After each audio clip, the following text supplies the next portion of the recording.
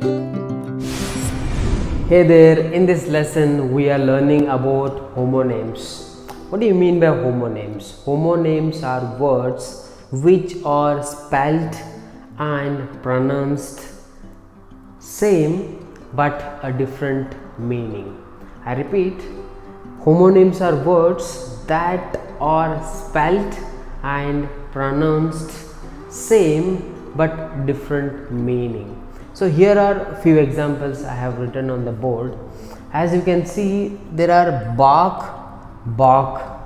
Both are same and spelling is also same but different meaning. ನೀವು ಕನ್ನಡದಲ್ಲಿ ಹೇಳಬೇಕಂದ್ರೆ spelling same ಇರುತ್ತೆ plus pronunciation same ಇರುತ್ತೆ but meaning ಮಾತ್ರ ಡಿಫ್ರೆಂಟ್ ಆಗಿರುತ್ತೆ ಆ ಒಂದು ವರ್ಡ್ಗೆ ನಾವೇನಂತೇವಿ ಹೋಮೋನೇಮ್ಸ್ ಅಂತ ಕರಿತೇವೆ ಇಂಗ್ಲೀಷಲ್ಲಿ ನೋಡಿ, ಸುಮಾರು ಎಕ್ಸಾಂಪಲ್ಸ್ ನಾನಿಲ್ಲಿ ಮೆನ್ಷನ್ ಮಾಡಿದ್ದೇನೆ. ಫಸ್ಟ್ ಎಕ್ಸಾಂಪಲ್ ಏನಿದೆ? Bark means what it's a hard cover of tree ಅಂದರೆ ಕನ್ನಡದಲ್ಲಿ ಏನಂತೆ ಬಡ್ಡಿ ಅಂತೆ ನೋಡಿ. ಮರದ ಬಡ್ಡಿ. ಸೊ ಅದಕ್ಕೆ ನಾವೇನಂತೀವಿ? ಬಾಕ್ ಅಂತ ಒಂದು ಮೀನಿಂಗ್ ಅಂತೀವಿ. ಬಟ್ ಅದ್ರ ಜೊತೆಗೆ ಬಾಕ್ ಅಂದರೆ the sound that dog makes dog ಏನು? ಆ ಡಾಗಿ ಏನು ಮಾಡುತ್ತೆ? ಬೊಗಳುತ್ತೆ ನೋಡಿ. ಬೊಗಳೋದಕ್ಕೆ ವಾ, ವಾವ್ ಅಂತ ಬೊಗಳುತ್ತಲ್ವಾ? ಸೊ ಅದಕ್ಕೆ ನಾವೇನಂತೀವಿ ಬಾಕ್ ಅಂತಲೂ ಕರಿತೀವಿ. Bark means also called somebody is talking too much in a loud voice he is barking at me.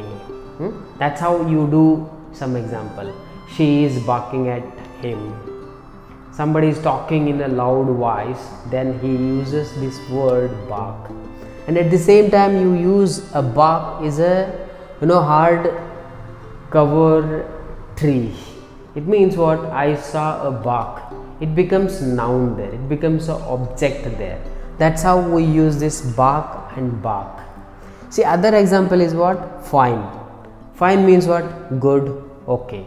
See, somebody you want to ask, How are you? Then what they say?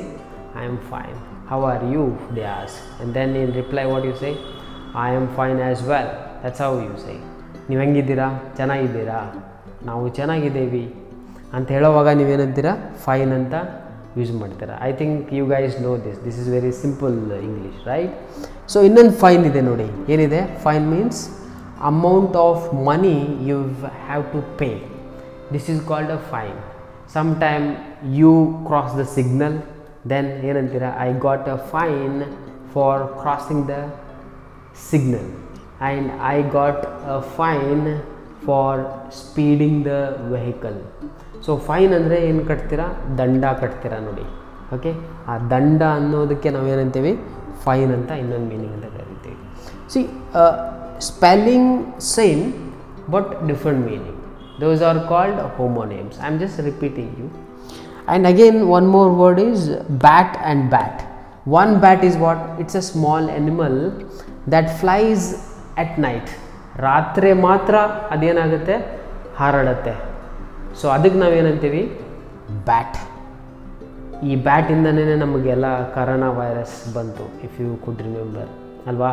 So that's called a bat I saw a bat when I was walking at night that's how you make examples ನಾನು ನೋಡಿದೆ ಏನು ನೋಡಿದೆ bat ನೋಡಿದೆ when I was walking ನಾನು ನಡೆಯುವಾಗ ಬ್ಯಾಟ್ನ ನೋಡಿದೆ it is a small animal okay and another bat is what a wooden object you know we all play cricket right when you want to play cricket you need a bat then we use that bat and we go for playing cricket yeah, right so that's how you use this uh, bat uh, word and lastly but not the least match match is what it's a stick what we use for uh, you know uh, candle the light so I need a matches. Can you please give me some matches? I want to light the candle.